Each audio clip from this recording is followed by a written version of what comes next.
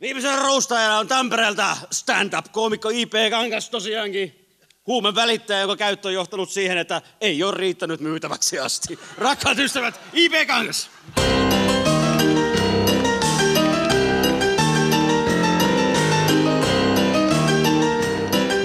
Kiitos, kiitos. Joku ehkä huomasi, mä kävin äsken tuossa vessassa välissä ja tota, täällä ei vaan tarpeeksi sinistä valoa täällä.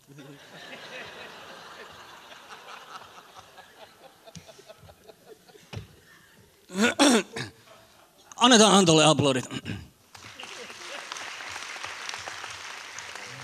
Moni ei varmaan muista, mutta Antto oli vuonna 2005 tämmöisessä suositussa todella hauskassa TV-ohjelmassa juontajana. Hauskat kotivideot. Ei se alku ollut hirveän hauska, mutta kyllä se loppu kohen sitten, ja kun se korvattiin Antto Marjamalla. Ja... Sitten se oli ihan... No kattos, kun minä käytän eri huumeita kuin sinä.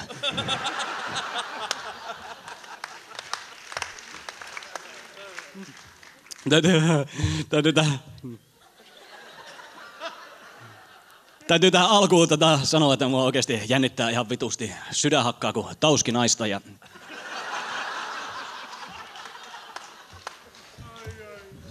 Mutta aloitellaan. Mä ajattelin ensimmäiseksi sivaltaa tota nahkapäätä. Vittu Esko, sä alat kaljuuntua.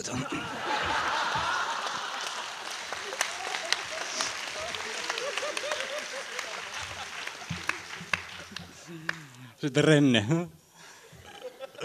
Vittu, meillä oli mummolassa samannäköinen rei- seinäryijy kuin sinä. Renne on yrittänyt vaieta aatteis- aatteistaan julkisuudessa, mutta voin kertoa, että mä luen sua kuin avointa värityskirjaa. Syy siihen, miksi Renne podaa, on se, että ei loppuisi taulusta tilaa.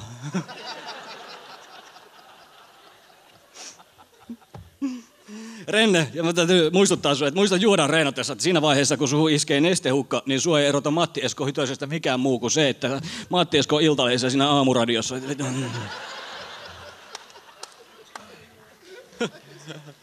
kuin tässä on tullut ilmi, niin Ali toi viidakosta Rennen muija.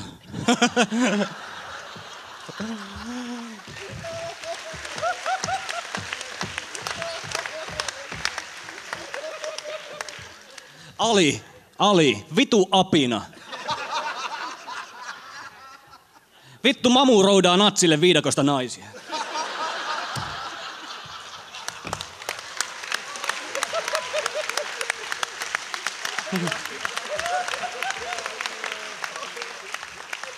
Vittu, ei, ei käynyt mielessä kostaa ja tuoda sille joku karvaperse oranki. Ei, piti tuoda joku missimitos oleva sättijuontaja. Esko, tota, sähän on tämmönen aika iso ja lihaksikas ja vähän TV-stä tuttu. Ja siihen ei sama oikeastaan suomalaista pystynyt muu kuin Henri Saaren penis.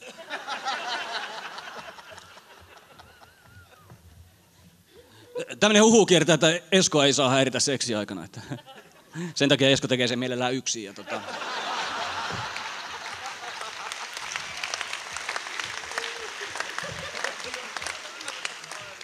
Yhden tämmöisen öljyisen hankskeikan jälkeen niin olin kattoon Esko pyysi mua takahuoneeseen moikkaan poikia. Ja...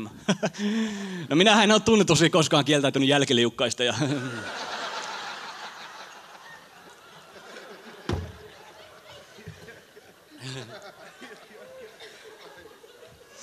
Esko kertoi, että ennen tätä esitystä niin hotellihuoneessa jännitti hirveästi tätä roast, roastia, niin että oli pakko vääntää ripulipaskat. Ja... No, sittenhän Esko nousi ja puki päälle ja tuli tänne. Ja...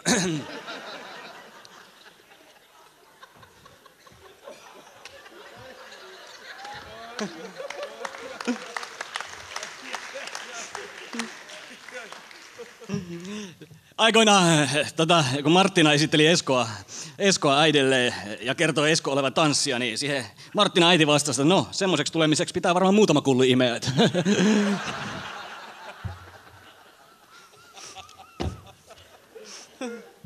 Vitsi, remonttireiska siellä. Vittu sä näytät ihan siltä, kun Keke Roosevelt olisi juttunut solariumiin.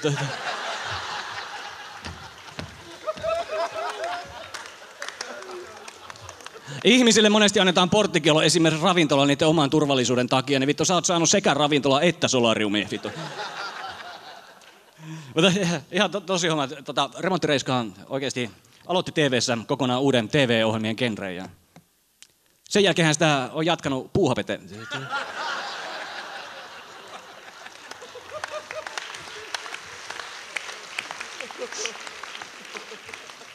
Mm. Mutta tosi juttu on se, että remonttireiska on oikeasti mun lapsuuden sankaria.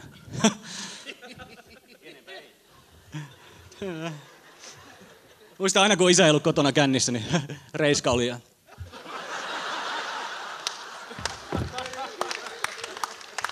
Vielä. Ja...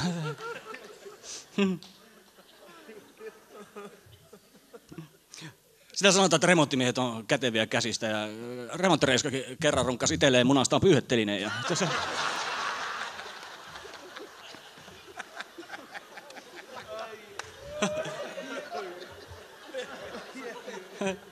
Janne, me, me mennään Janneen. Mun täytyy, kun Janne on hirveästi jotenkin homosteltu. Ei, mun täytyy sanoa rehellisesti, sä et, minulle sinusta ei tule melee homo. Enemmän lesbo.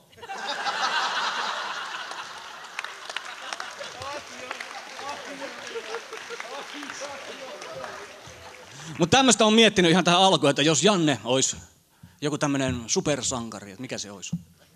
Niin, mä ajattelisin, että se voisi olla esimerkiksi tämmöinen kuin TV-stä näkymätön mies.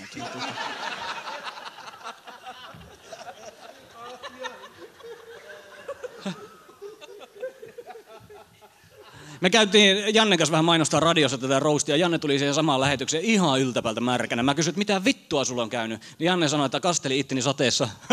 mä sanoin, joo, no kyllä minäkin kerran ukkosella paskasin housuun. Vittu.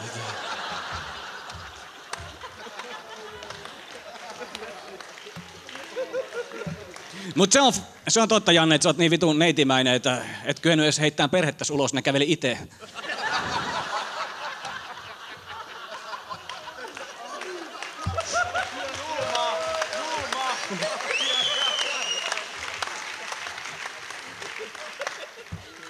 Ja sun hometalosta ei se enempää, mutta vaan se vittu, että kuinka vitun järkevää oli huudella sitä kaikissa medioissa. Nyt sitä ei saa myytyä Jetrokaan. Ja sitten miten voi niin kuivassa kylässä, kun riksu vittu talo homehtuu? Ei mitään vittua.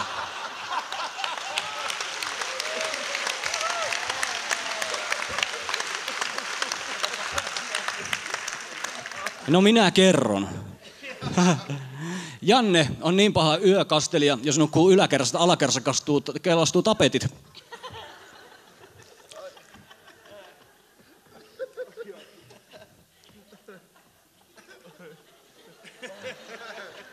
Kokonsa puolestaan Jannehän voisi olla Eskon penis.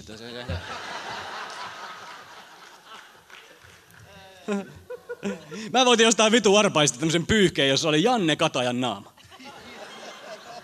No mä oon pyyhkinyt siihen aina koirien munat, kun tulee kurasta ja... Oon pyyhkinyt siihen omat munat ja... Sitten kun mä jätin sen pururadan varten, niin näyttää pyyhkivän kaikki muutkin.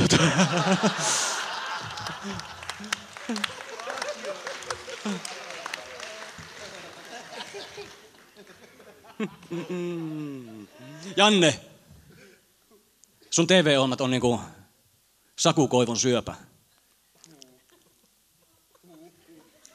Että vittu ihan porukalla toivotaan, että ne uusiutu sitä.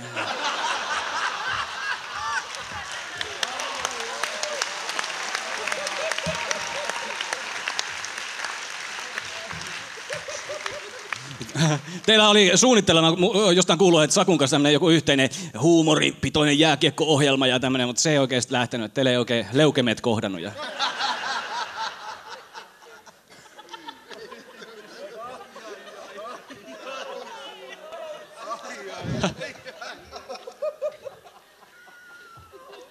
Saatteko te happea?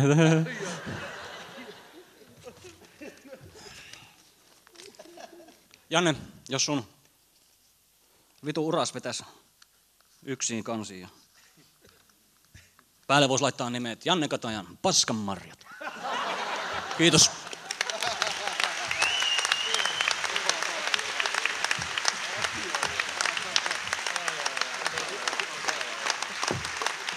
Paskan marjat. Kiitos. J.P. Kangas.